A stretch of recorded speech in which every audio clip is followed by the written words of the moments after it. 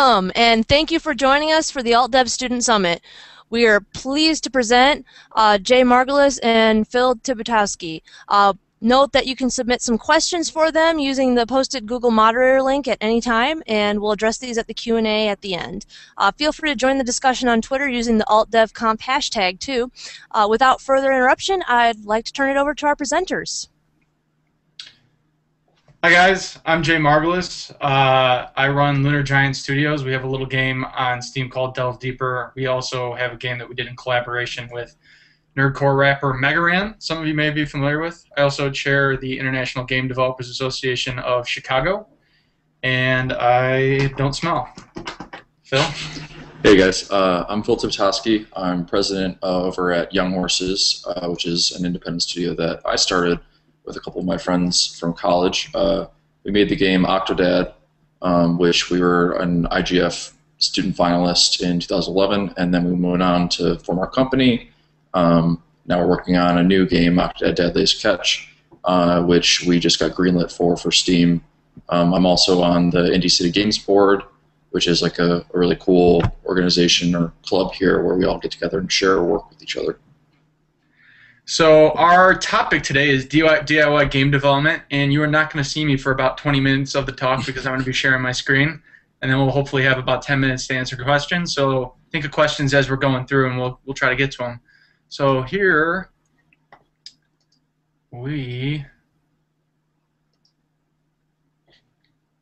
here we go. Phil, can you see that?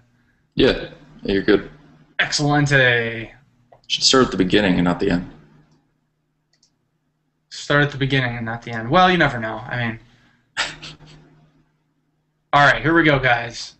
All right, DIY development. DIY means do it yourself.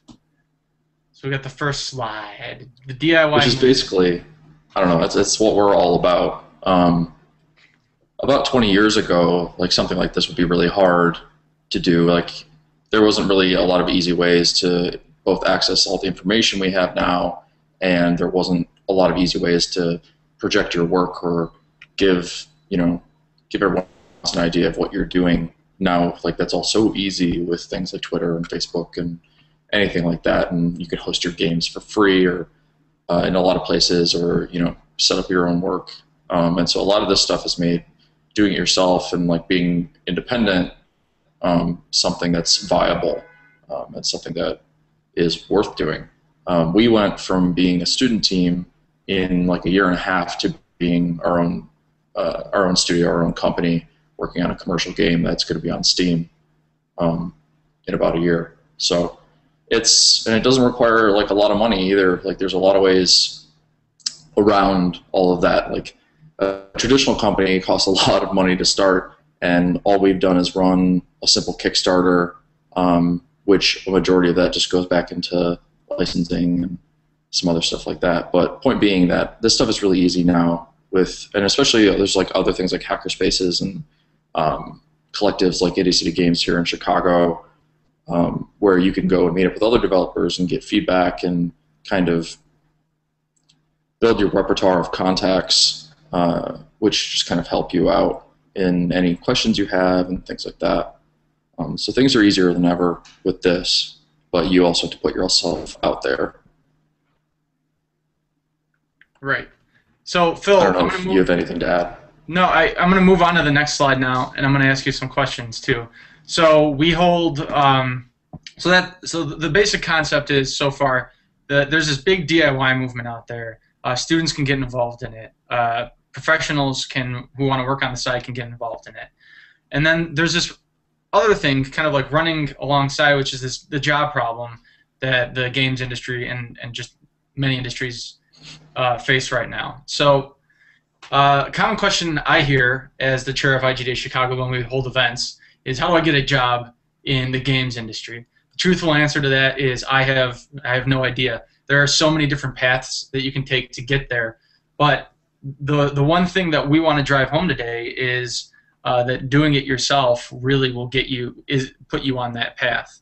So the first question you want to ask is why do you want someone to hire you? And Phil, what do you what do you think about that? Why do I want someone to hire me? Why? well, I mean, I guess I would I would assume that I have something to offer them, and that I want to create games and I want to, um, I don't know, be a creative force in the industry. What What made you choose to uh, run an independent studio rather than apply for a job right out of college? Right. Um, I had done a lot of research and I had talked to a lot of people who were already in the industry and just kind of got a good idea of like the things they were able to do and not able to do. And I don't know. I mean, with Octodad in particular, um, we just found that there was an audience for it, and so we wanted to continue doing it our way, um, and didn't really want any sort of pushback from anyone else. And we realized it was possible to do this and possible to be successful through things like watching like Indie Game the movie with like Team Meat and other people like that. Um, and so we just kind of went for it. So we were both at uh, an Indie City Games meeting yesterday, and actually uh, Heinz Schuller, who used to be the art director at Day One Studios, they put out Fear Three, uh, was talking about how after he went indie, he appreciated making games a lot more. His basic proposition was, uh, why ask how do I get a job in the games industry when you really don't get to focus on making games anymore at big big studios? Why not do something small instead of looking for somebody to hire you? So either way, any way you approach it, though, whether you're whether you want to start your own indie studio or uh, work at another studio, uh, there's one thing you need to know, which is, hey, stupid, learning never ends. so, especially in game development, it's uh, everything. It's very competitive. Uh, whether you want to work at a big studio or even at an indie studio, you're competing to get so many. You're, you're competing for attention you're competing for jobs that everybody's looking for. Um, and the only way that you're going to make it in the net uh, that is to learn and learn on your own. Um, I know Phil that you do this basically all the time. Uh, yeah. And you're a big advocate for this. So why don't you talk about that a little bit? Well, basically, the idea behind it is that uh, not only are you, you know, fighting for these jobs with, or fighting to create these jobs with people um, with your peers, with people you've gone to school with that come from other schools and things like that. But you're also competing against people who've been in the industry for 15, 20 years and they're looking for new jobs. And so in order to actually be able to compete with them, you have to do like everything you can to better yourself, um, you know, pretty much every day. Um, college was really just learning how to learn, how to teach yourself. And with something like that, you have to actually apply it once you get out of school. And one thing I see a lot of students do that, you know, even some of my peers that do that doesn't that just leaves them with nothing is they get out of school, they get another job to you know sustain themselves financially or whatever, but then they forget or they don't think to continue just getting better at what they really want to do, which is make games. And so, I mean, I spend a lot of time reading a lot of articles, trying new things, and talking to people in the space to learn as much as I can about what's currently going on and learn more about like how I can get better at what I'm doing. And it's hard to do because you have to set your own goals and your own milestones and stuff like that, and actually be kind of strict with yourself in a way. But it's really worth it in the end because then you're actually competitive with all these other people out there, uh, either looking to start their own studios or get jobs. So let's let's uh, jump right into the steps that you can take now to learn on your own, um, and the things that you should be doing right now as a student, and that you can do, uh, you know, after you graduate from college as well. So uh, number one, and I think one of the most important things, is to find a mentor, and don't make the same mistakes that they did. Phil, I know you guys have a great mentor at Young Horses. Why don't you talk about him a little bit? So Patrick Curry uh, was an advisor for us on the first Octodad game, um, and at the time he was working at Wide Load, and then he moved on to Disney, and now he's got his own independent studio called Fun Machine in Austin. But Patrick's been in the industry for a while. I mean, obviously a lot longer than us, since we've only been around for a year and a half or so. But uh, he kind of helped us through the first game, just in some advisory capacity, just kind of giving advice from time to time. But now now that we have that contact, we utilize it as much as possible. And like, I mean, we're obviously friends with him and whatnot, but we'll go to him anytime we have questions about contracts or business deals or even just running the studio in general because uh, he was kind of like a creative director at one point, and so he's got a lot of right. management experience that you know obviously I don't have, um, which has helped us out a lot because whether you're all friends and you get along or you're just business acquaintances or whatnot, there's going to be bumps in the road to where there's necessary conflict that has to be resolved, and you can't just let it go astray because if you do, it can tend to kind of rip things apart. Right, and I think another another important point is that sometimes there are questions that do have correct answers, and having a mentor there who can just quickly and easily give you those answers will keep you on track. Um, right. You don't spend as you don't spend as much time just kind of searching for these things that you could quickly get from someone who's previously experienced it. Right. Exactly. And on top of that, they introduce you to really uh, interesting people sometimes too. Oh yeah, definitely. So that's the number one step. Uh, everybody, find a mentor. Whether you're a student, whether you're a gradu- whether you've graduated from college, find somebody in the industry who can give you kind of good advice. Um, maybe Phil and I could be your mentor. I don't know. uh, number two, work in teams with competent people who you trust. So, Phil, we were talking about this a little bit before because if if you people can really get you off track if you're not working with people who are who can do their jobs and who will do what they say. Um, I've we've run into problems like this before at Lunar Giant. How about you? Yeah, uh, I mean, we were running into that sort of problem at the beginning of the project. One person just kind of had fallen off the radar, and we'd given them multiple chances to kind of get back on. And now, looking back at it, we kind of realized that we may have waited too long. Um, to kind of correct the problem. But right. the point being is that even if you're friends with the person or whatever, um, you want to have realistic goals and expectations of each other, right. and you want to actually follow through with that. And if you don't have that, a lot of the times, no matter how good your game idea is or how smart all of you are, that game's not going to get done, or it's not going to be done as well as it could be, um, simply because those kind of personal relationships and tiffs can kind of rip things up. So if uh, if you've got the right team of people and you've got a mentor, and you go ahead and you have to you, you do the D part of the DIY now. You're you have to make something. And I think if you look around you as students, at least I remember when I was back back in college, uh, if I looked around me, I, I would say probably about 90% of my peers weren't doing anything. So by doing by just by virtue of creating a game, by not procrastinating, by doing things, you're putting yourself yourself ahead of your peers. Phil, you you you're a recent graduate from DePaul. Yeah. I think you could probably speak to this uh, as well. It's a really interesting thing because while you're in school, um, if you're going for games in particular, like you're making small projects for classes and things like that, which are you know two weeks, five weeks, ten weeks at the most. Um, which that's great and all, but it's in the classroom and it's usually some sort of specific goal in mind as far as like, oh, I'm going to learn this tool or something like that. It's not a game you really want to make, and it's not something you're taking your own personal time to really work on. Um, and what a lot of employers look for is someone who's actually completed uh, a game from start to finish, who's made a game from start to finish, which is surprisingly, surprisingly, like not many people have actually done that once they get out of school. Um, they may have made like little bits and pieces of things, but they haven't finished a game completely. And it's really impressive to see someone start from you know concept to playable game. And it doesn't have to be like an amazing, you know, AAA amazing piece of art. It just needs to be something that you can play and that and that shows like that you put all the work into it. So Octodad's a perfect example of that, right? I mean, you guys started working on that when you were still students at DePaul, and now look what it's turned into is something you know that's not just a tool, not just a game that you can show to uh, possible employers, but a game that uh, has a lot of potential and will probably make you quite a bit of money once once you put it out for sale. Yeah, we'll see. But I mean, yeah, it's it's been great, and we worked on that um, in our free time during the summer, and then we just kind of kept working on it uh, after school and, and, stuff like that.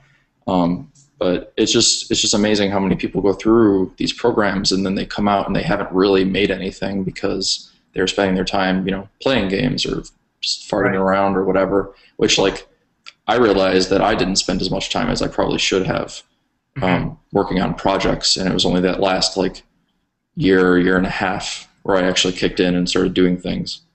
So the the real point of of this, uh, before we move on, I just kind of want to kind of hone in on this is if if you look around and every all a lot of your peers aren't creating something, you're you're already putting yourself ahead by making something right now. You're already making yourself either more desirable to potential future employers, and you're also making yourself you're also bettering yourself and possibly creating something that's saleable um, either while you're still in school or after you graduate. So let's say you've just graduated from college now. For the job applicant, what do you do? Uh, you really need to make something now.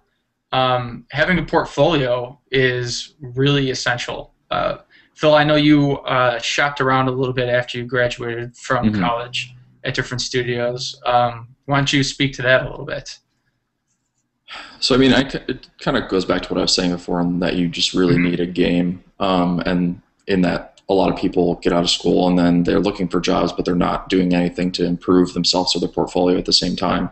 And like I know it's hard and it takes up a lot of your time, and you know you don't really have much time for anything else. Mm-hmm. But um, people need to know you've made something, and people you need to like look for feedback on your work and try to improve because if you're not currently getting a job, maybe it's because of the interview, maybe it's because of uh, your portfolio, but you should be looking and trying to find like uh, constructive criticism to kind of help you with these things, whether it be you know you're not that great at interviewing or you need to polish up your portfolio or whatever.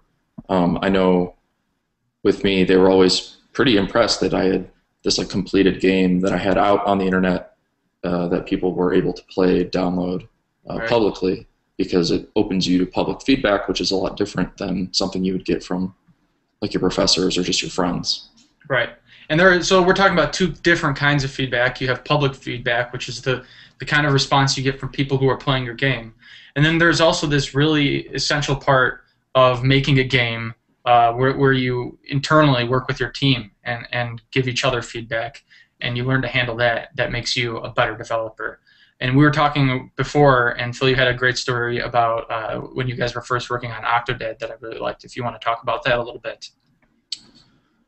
Uh, yeah. So I mean, like when we had first started working on the game, we were all still pretty green in that it was the first big game that we had worked on. Otherwise, we, like I mentioned before, we worked on little things for classes, and um, in those, you don't really have a lot of time for iteration. It's just kind of like get the assignment done, get it in, Right. Um, with these, with this project, we actually had that time, and when the when it first started, uh, the team was 18 people, and we didn't know each other all that well. So it was very interesting trying to, um, I don't know, shoot down ideas, or at least say, hey, well, what if we did this, and not have people give a lot of pushback. And it took a little while to learn that if we were all just very open to each other's uh, feedback, that things went a lot smoother and even if that feedback, or even if an idea didn't make its way from there to in the game, it at least helped us uh, direct the rest of the development, or it brought up another idea. So it's, right. it's you can't ever be afraid of people's feedback, whether it's positive or negative, right? Because um, everything is helpful. And one thing you realize once you get out into the real world is it's much more difficult to get that um, from people voluntarily. Like we seek it out now and we hope for it. Right. So it's yeah. So let's check this segue out. One of the places you seek it out is boom, friends.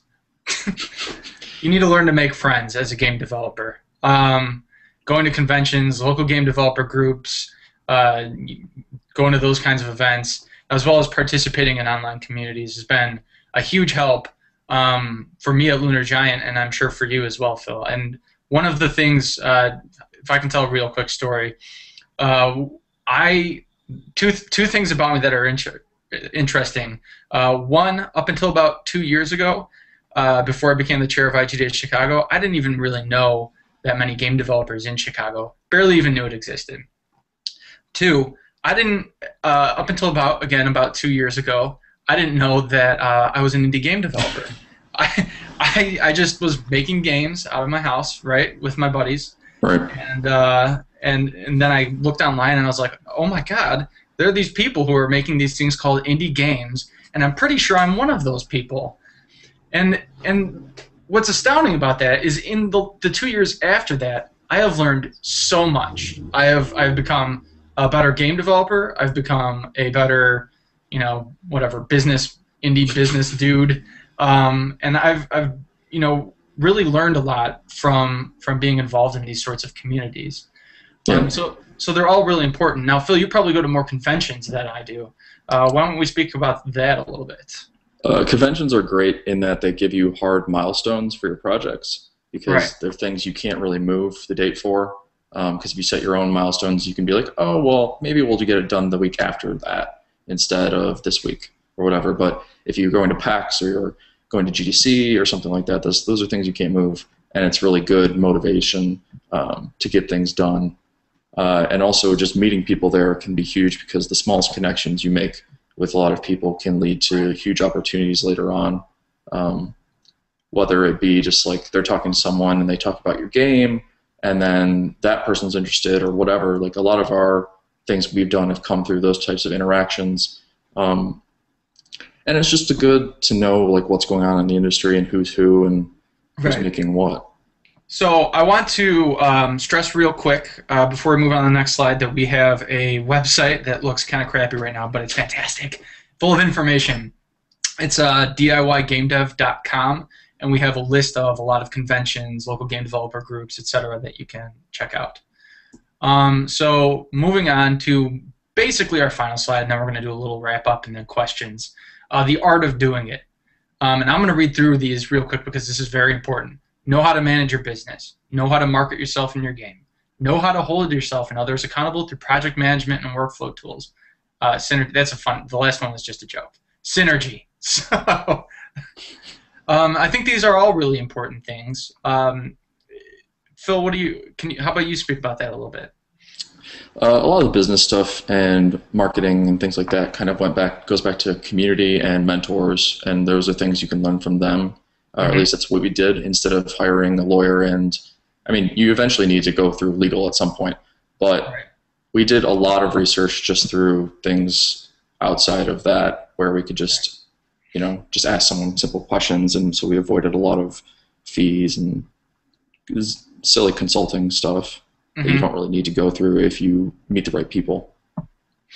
Um, you know, one of the things I, I want to hone in on here is knowing how to hold yourself and others accountable. Um, yeah, through project management tools and whatnot, but also just in general. Being honest with the people you work with and being very forward with them will save you headaches and hours of time um, for minutes of uncomfortableness that you'll have uh, at that time.